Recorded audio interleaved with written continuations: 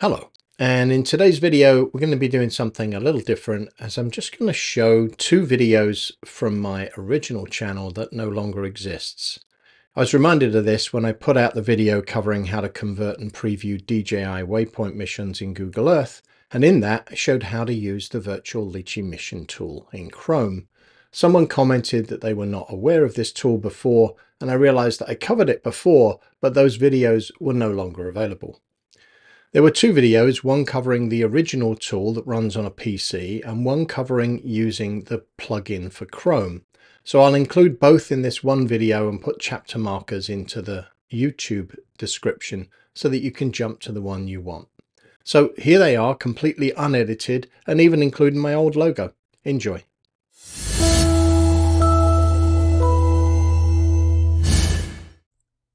In today's lesson, we're going to learn how to create these amazing virtual Litchi missions in Google Earth using the free tool created by Nimirda.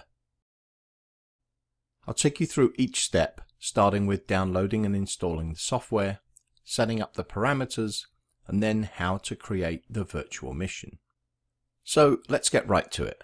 First, we need two pieces of software.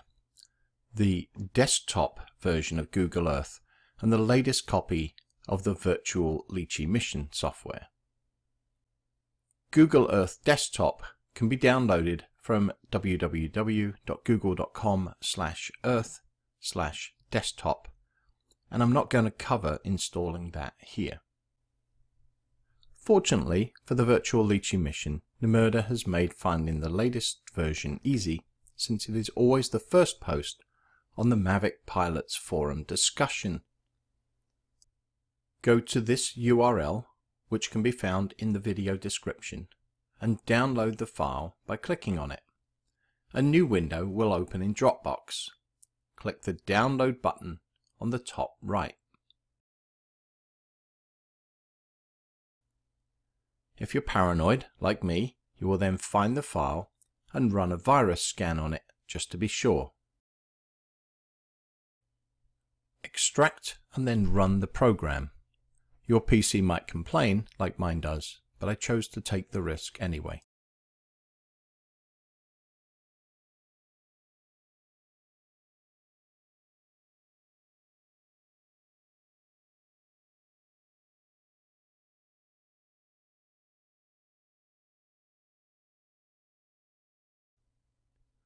Once installed, we can run the program and set up a few parameters that will make our lives easier.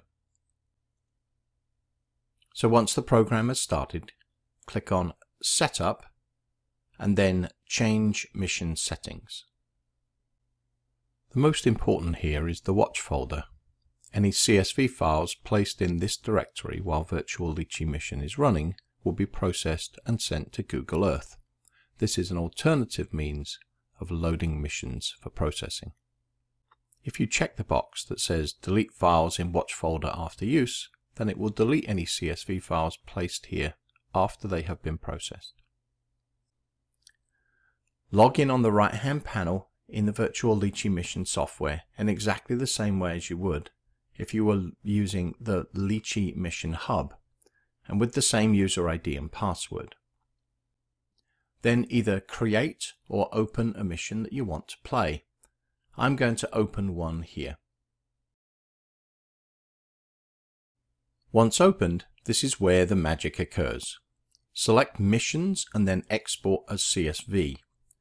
You will see some activity in the left-hand panel, and assuming all goes as planned, Google Earth will open, and the mission will be created inside.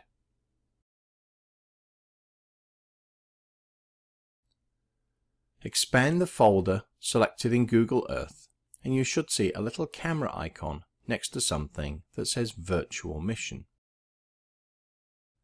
Double click on the virtual mission and watch as your mission plays out. Not happy with the results? Tweak it in the Mission Hub, save again, and keep going until you have a perfect mission ready to go. And that's it. I wanted to say a big thank you to Nimirda for creating this amazing piece of software, and I hope you found this tutorial useful.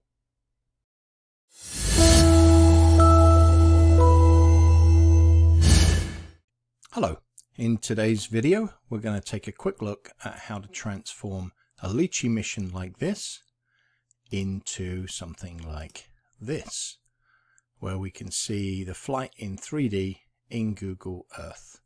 Um, super easy to do. So let me just close this down and let's start. Um, I've started with a mission already pre-programmed to save time. Um, but it's basically just a simple mission, 350 feet with a waypoint at the Statue of Liberty at 200 feet.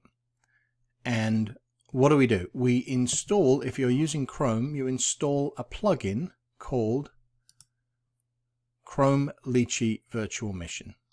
I've already got it installed. Once it's installed, there are some settings that you can change that are quite important.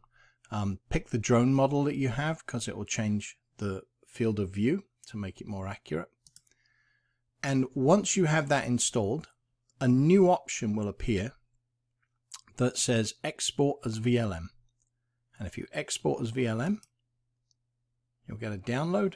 And if you click on that download and Google Earth opens, and what you'll find is on the left hand side here, there'll be a new mission that has the little camera and also this diagnostics. The diagnostics shows you the flight of the, the, the flight path, um, which can be very useful, particularly when you see it dip down unexpectedly.